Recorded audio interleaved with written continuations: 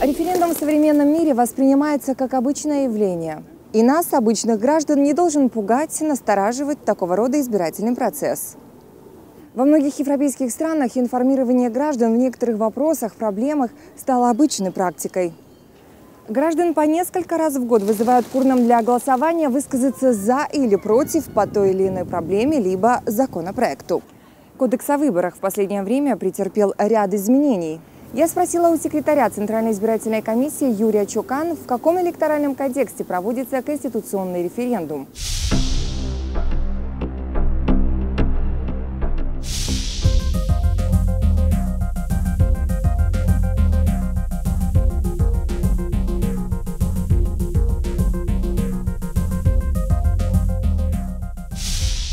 Модель избирательного бюллетеня была одобрена решением Центральной избирательной комиссии. Из нескольких основных частей состоит этот бюллетень для э, референдума.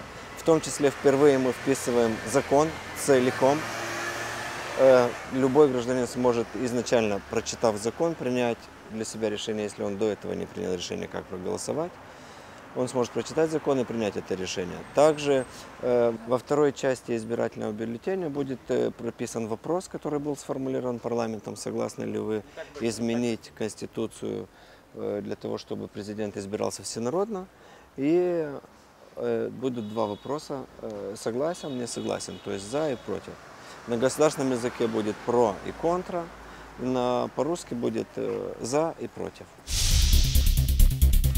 Президент Республики Молдова избирается всеобщим голосованием, прямым, тайным и свободным волеизъявлением. На должность президента Республики Молдова могут баллотироваться граждане, которым исполнилось 40 лет, жили или проживают постоянно на территории Республики Молдова не меньше 10 лет и владеют государственным языком. Процедура избрания президента Республики Молдова установлена органическим законом. Можно считать, что кандидат избран, если набрал как минимум половину голосов избирателей, которые участвовали в выборах. Если и во втором туре ни один кандидат не набирает нужное количество голосов, организуются повторные выборы. Порядка 20 тысяч граждан мы привлекаем на работу в день референдума. Это люди, которые будут получать соответствующую оплату труда, это люди, которые имеют определенную квалификацию. Сейчас мы находимся в периоде тренингов. В каждом избирательном округе, в каждом районе, муниципе мы проводим тренинги для избирательных функционеров, обучаемых, и тем самым э, подготавливаем их для работы в этот день референдума в избирательном участке. Наблюдатели на выборах из-за рубежа прибудут в Республику Молдова в меньшем количестве для референдума. В то же самое время мы получили заверение, что на предстоящие возможные выборы наблюдателей из-за рубежа будет гораздо больше. Очень много местных наблюдателей. Все э, организации, политические партии, кто желает зарегистрировать своих наблюдателей, могут это сделать. Сразу по принятию решения о аккредитации наблюдателей мы публикуем весь список этих наблюдателей на веб-странице Центральной избирательной комиссии. Самым транспарентным образом мы доводим до общественности имена, фамилии этих граждан и кого они представляют именно. От имени кого они будут вести наблюдательные миссии. Мой сегодняшний гость Корнелию Черемпей, который координирует сетью независимых наблюдателей и объяснит, какова роль наблюдателей в мониторинге проведения предвыборной кампании и референдума в Республике Молдова. Fiecare partid este interesat în a avea observator în fiecare secție de votare. Каждая партия заинтересована иметь своих наблюдателей, но сами наблюдатели еще больше заинтересованы в обнаружении правонарушений, которые могут допустить конкуренты на выборах. В то же время может случиться, что наблюдатель от какой-либо партии может уступить из вида некоторые нарушения, которые послужили бы на пользу своей партии. Поэтому считаю, что мониторизировать выборы должны независимые наблюдатели, чтобы проследить за всеми участниками в выборах.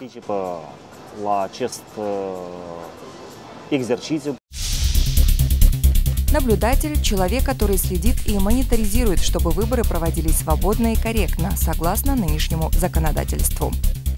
Este necesar ca înainte de a începe observarea pe termen lung și a observării pe termen scurt, vorbesc aici de ziua alegerilor, Очень важно перед началом наблюдательного процесса на длительный и короткий период, имея в виду непосредственно день выборов, работать с наблюдателями в плане развития своих навыков в области избирательного законодательства, толкования избирательного законодательства, роль каждого гражданина, который приходит в избирательный участок и выступает в качестве организатора данного избирательного участка, либо в качестве избирателя или же в качестве представителя администрации публичного управления. В каждом районном центре мы планируем иметь как минимум по одному наблюдателю на длительный период, который будет наблюдать и сообщать о ходе проведения предвыборной кампании в избирательном округе, который он представляет. В то же время наблюдатель на длительный период имеет под свою ответственность управление целой сети наблюдателей, которые мониторизируют выборы на короткий период и в день выборов или в день проведения референдума должен присутствовать от начала открытия избирательного участка до его закрытия и до завершения подсчета голосов.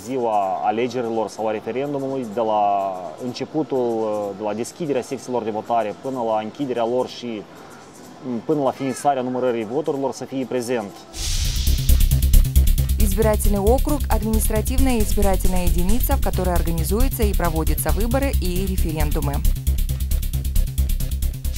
Unul dintre scopurile pe care le urmărește observarea alegerilor, observarea independentă, este de a da de înțeles electoratului că votul lor a contat.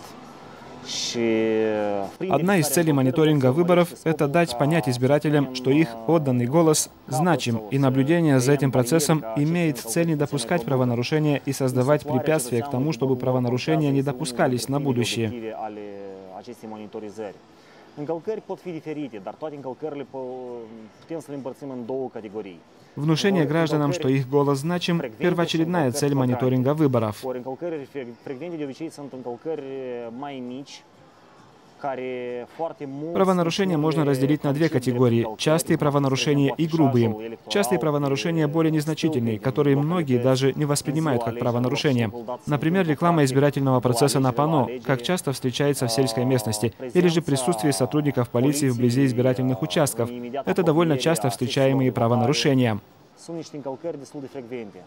Se mai întâmplă, cu părere de rău, și încălcări flagrante în Republica Moldova și multe dintre ele țin de modalitatea de organizare a secției de votare. S-au mai întâmplat cazuri când Встречались случаи, когда избиратели голосовали, находясь близко у окна, и это позволяло показывать через окно, за кого был отдан голос до того, как бросить избирательный бюллетень в урну для голосования.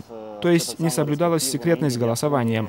Встречались и случаи, когда один чистый избирательный бюллетень был изъят из избирательного участка, а вместо него заранее давался избирательный бюллетень, в котором был уже поставлен штамп за определенного электорального кандидата. Надеемся, что это не произойдет на этих выборах, но это не исключено.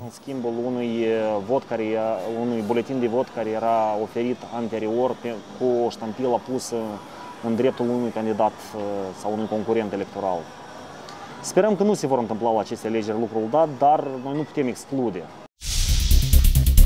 Электоральное бюро – временный орган, ответственный за правильное и полное составление бюллетеней для голосования. Рассматривает заявления в связи с ошибками в электоральных списках, осуществляет необходимые изменения и выдает справки о праве голосовать избирателям, которые не будут находиться дома в день выборов, проводит итоги выборов на избирательном участке. Электоральные бюро не должны представлять нас как конкурентов, и это мы пытаемся внушить наблюдателям на долгое время, что они должны быть партнерами, потому что и представители электоральных бюро, и наблюдатели преследуют такую же цель. Выборы должны состояться корректно. Corect. Конституционный референдум, который состоится 5 сентября, может изменить положение дел намного больше, чем кажется на первый взгляд. Все зависит от нашего участия. Программа «Референдум. Понятный для всех» ждет вас в каждую среду и субботу вечером после информационной программы «Мессаджер» на румынском языке в 21.30. Всего хорошего и до встречи!